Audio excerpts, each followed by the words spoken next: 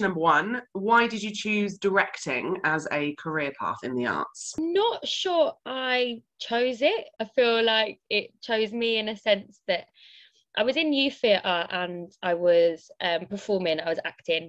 I, I was quite a nightmare to direct. So I'd be on stage telling everyone else what they should be doing, as well as me like not taking a note from a director and being like, I need to be standing here, I should look over there, I should do this. And the director at the time, he said, I reckon you might be good at directing. And so it just felt like everything was saying that that's something I should pursue. Question two How did you come to work with Arch 468 and what was the project? Project called Her Story. It was a citywide audio storytelling project. And it was an amazing project that um, told women's stories of the pandemic and really a way for people to kind of for there to be a documentation of what women went through during that time and for people to feel kind of less alone and question number three what's been an important or formative moment for you in your career? It's got to be when i first worked with Paines Plough. So i originally started off as a producer a show called estate walls a reading of it written by Arinze Kene at the Young Vic, and I was like, this has to go on. Arinze was an associate artist at um, playwright at Paines Plough at the time, and so they supported me to produce that play, and um, and then I was like, actually, I'm really interested in, in, directing. I don't know if you know that.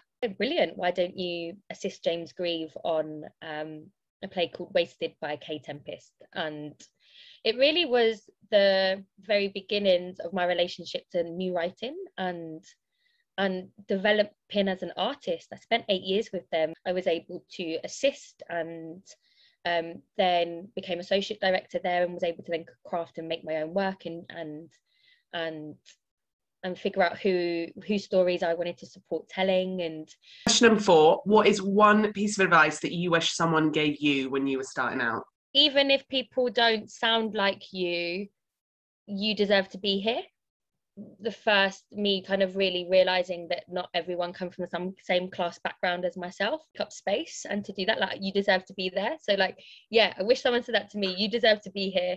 Mm-hmm. Um, so fuck shit up, basically. Question number five: What do you want the art scene to look like in five years' time?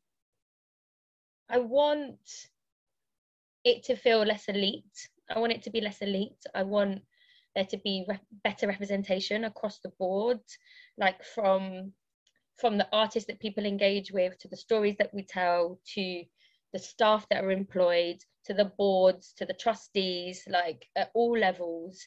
And I, I, we're on a journey with it. We're getting better but nowhere near where where we need to be uh, to make better steps on on how we can break down the barriers that exist for people to access theatre.